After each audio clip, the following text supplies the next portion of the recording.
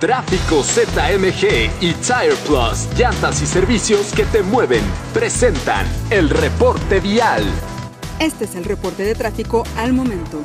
Carga vehicular intensa en López Mateo Sur, a partir de la salida del túnel de Santa Anita hasta las plazas Outlet. El sentido opuesto muestra tráfico cargado desde las Cuatas hasta Fraccionamiento Monteverde.